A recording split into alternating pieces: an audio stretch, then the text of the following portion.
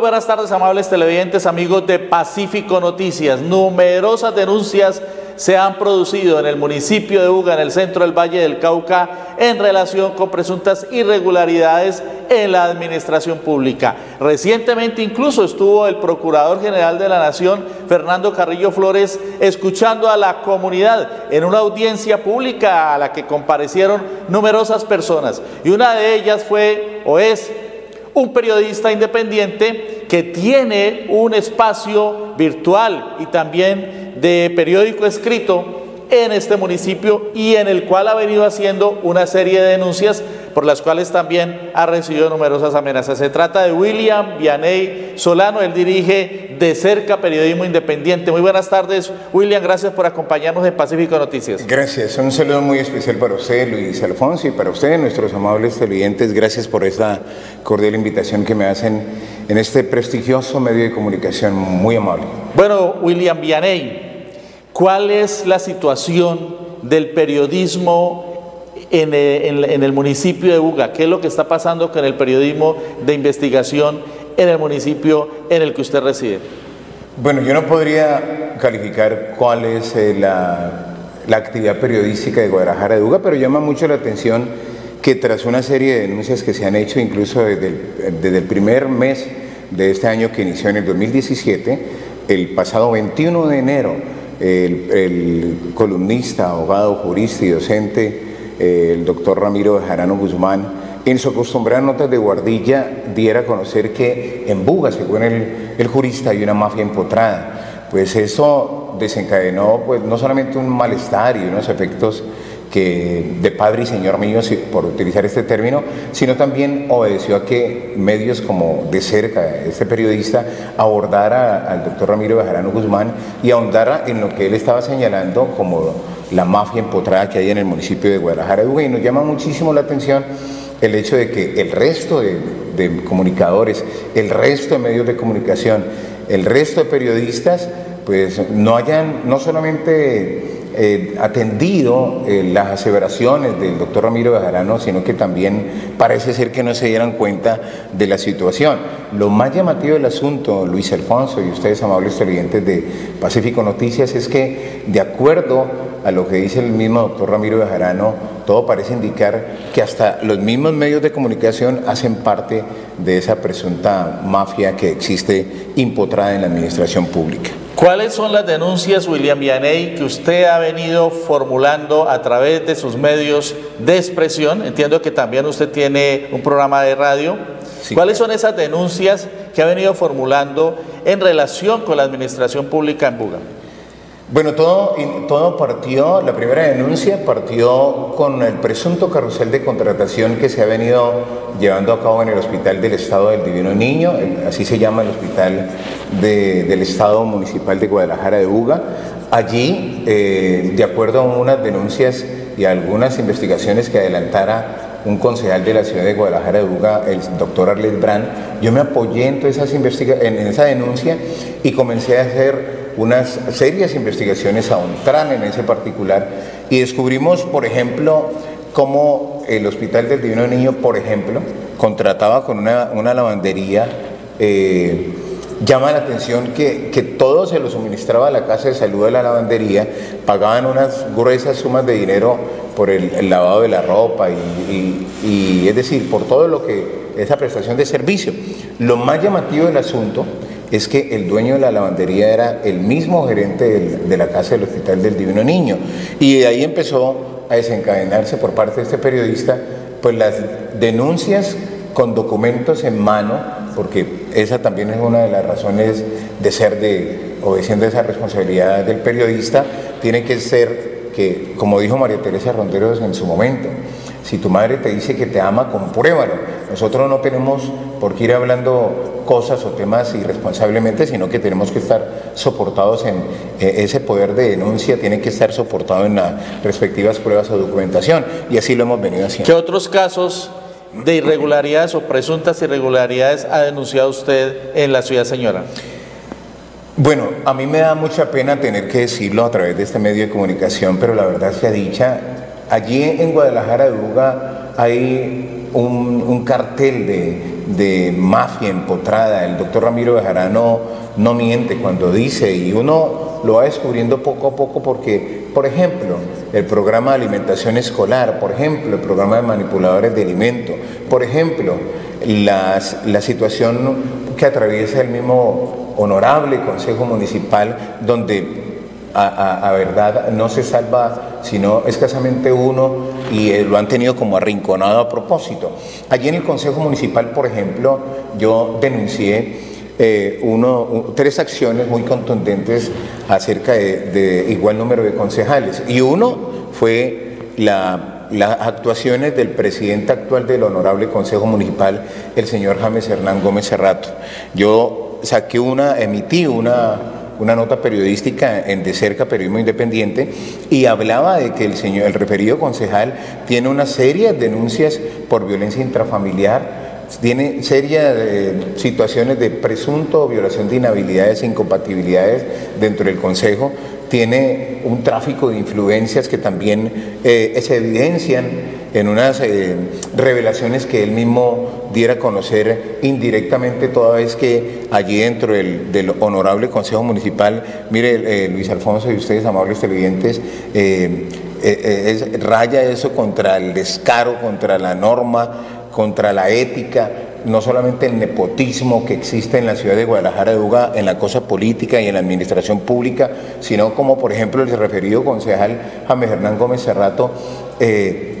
siendo concejal en ejercicio, su compañera permanente fue elegida secretaria general del Consejo y posteriormente ella fue a ocupar un cargo directivo de una empresa a la que él tiene que hacerle control político, como la empresa Aguas de Buga, donde a propósito se han, eh, habido unas serias denuncias muy delicadas sobre una eh, nómina paralela, como lo dijo el mismo presidente del sindicato Oscar Marín. Nosotros hemos eh, sido muy enfáticos en, estos señalamientos. Por ejemplo, sin ahondar en el tema del, referido presidente del Consejo Municipal, y qué bueno sería que posteriormente a esta entrevista este prestigioso medio de comunicación lo abordara y le preguntara si yo estoy mintiendo. Tengo las noticias criminales de cómo el señor no sé si tiene problemas psicópatas o esquizofrénicos, porque, por ejemplo, no se le puede decir,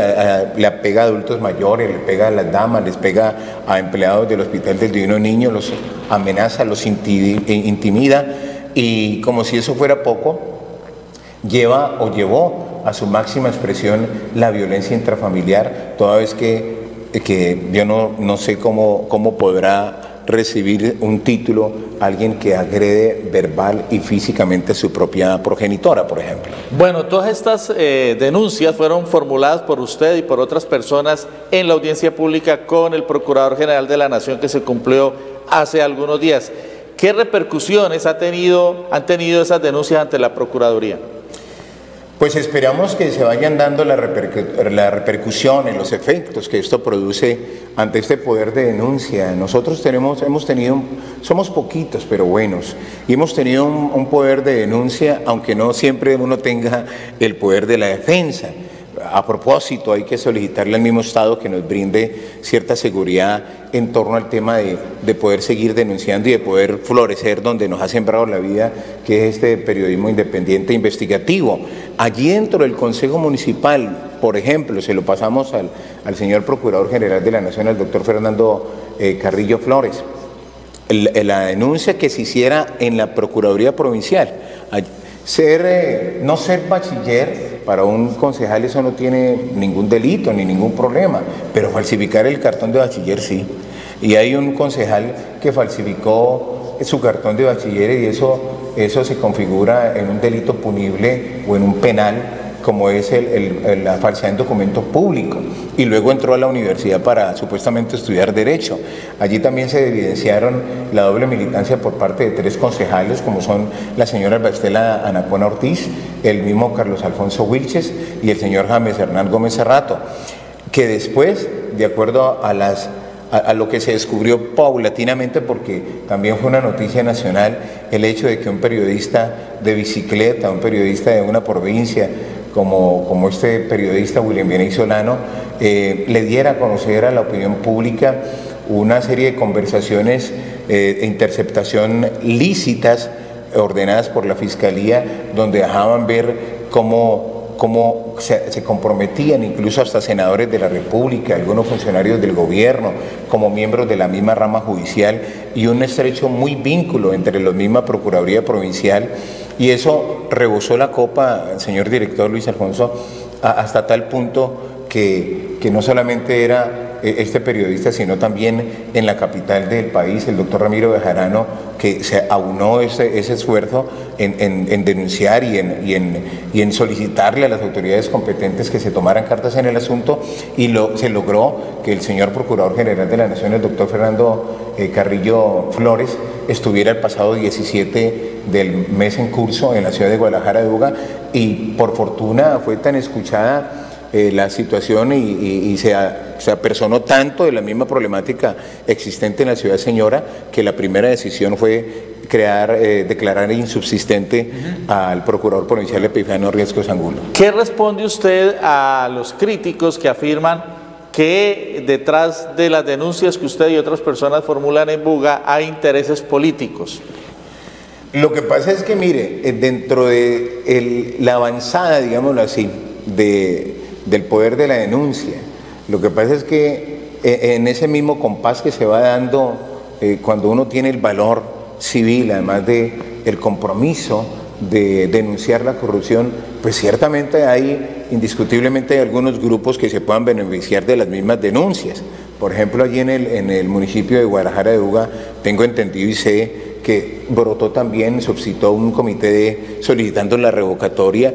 y ellos eh, eh, la verdad sea dicha, se han apoyado mucho en las denuncias que no solamente eh, el doctor Ramiro Bejarano Guzmán ha hecho, sino también este periodista. Y pues bueno, todo lo que tenga que ver contra la corrupción, pues bienvenido sea, pero ni el doctor Ramiro Bejarano ni este periodista William Vianney Solano tiene que ver con ningún color político, ni, ni movimientos políticos, ni nada de eso. Estamos haciendo es, es la tarea. Lo que pasa es que eh, como lo dijo eh, nuestro amigo Daniel Coronel, lo que pasa es que a, veces la gente y sobre todo el gobierno olvida que el periodismo no es una emisora de complacencias y aquí lo, lo que le estamos dando a conocer a la opinión pública es el manejo de la, de la, de la administración pública, de lo público, la defensa de lo público, lo particular, eso no nos interesa para nada. Finalmente, William Beney, ¿cuáles son las reacciones en la comunidad, en la ciudadanía? ¿Reciben ustedes respaldos de colectivos sociales, de la opinión pública? ¿Cuál es la reacción en la ciudad, señora?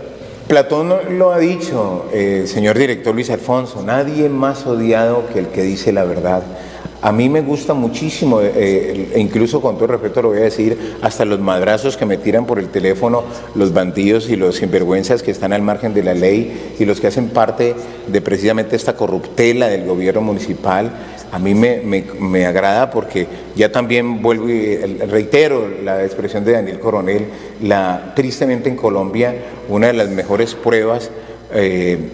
que, que deja ver que se está haciendo la tarea de un periodismo serio son las denuncias, son las, los ataques, son las amenazas, pero lo más importante en este ejercicio periodístico es que contamos con, con el respaldo de la opinión pública. Mire, señor Luis Alfonso y ustedes amables televidentes, el mayor prestigio que tiene un periodista es contar con el respeto de la opinión pública. Y ese respeto no se gana sino cuando se entrega una información objetiva, veraz, imparcial, oportuna eh, los otros medios, ellos verán con quienes se alían, ellos verán si se alían con el diablo, ellos verán con quienes se alían. Nosotros tenemos que aliarnos es con la objetividad, con la responsabilidad, pero sobre todo, como lo dijo John Stuart Smith, aquí hay que buscar el mayor bien para el mayor número de personas. Que nos amenacen, que nos quieran matar, pues